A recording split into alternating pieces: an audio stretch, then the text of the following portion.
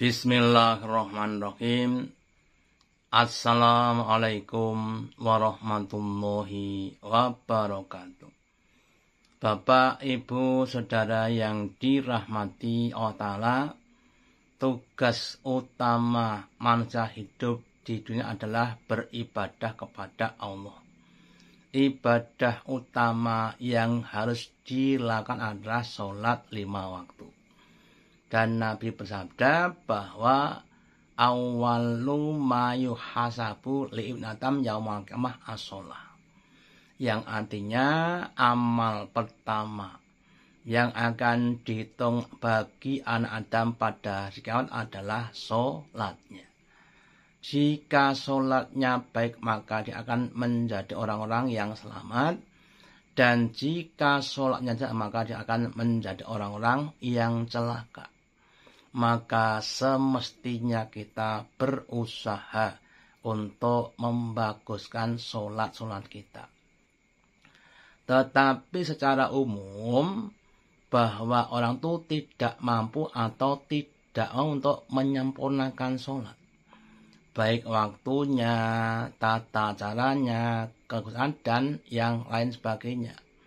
Maka pentingnya kita mendoa kepada Allah Ta'ala supaya kita dijadikan orang-orang yang mampu dan mau menegakkan sholat.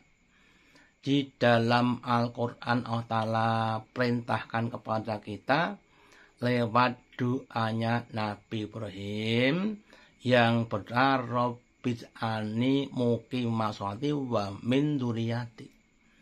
Yang artinya ya Allah Jadikanlah saya ini orang-orang yang mampu dan mau menegakkan sholat. Melaksanakan sholat-sholat dengan memenuhi syarat dan rukunnya bahkan fadilah-fadilahnya.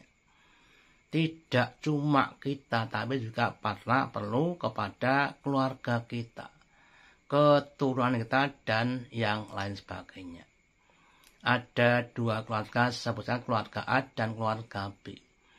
Keluarga adalah keluarga yang orang-orangnya penggunaan orang-orang penegak sholat.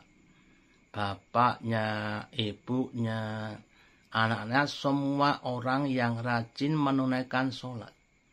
Sementara keluarga B adalah keluarga yang tidak banyak yang sholat. Bapaknya sholat cuma setahun dua kali ibunya juga sholat dua kali setahun ya. Bahkan bahkan tidak ada yang sholat ya. Maka keluarga A itu insya Allah lebih baik dibanding dengan keluarga B. Dan semoga Bapak Ibu kita dijadikan Allah sebagai penegak-penegak sholat. Juga keluarga kita menjadi penegak sholat dengan istiqomah, dengan ikhlas, dengan mujadah sampai akhir kusnul khotimah. Wassalamualaikum warahmatullahi wabarakatuh.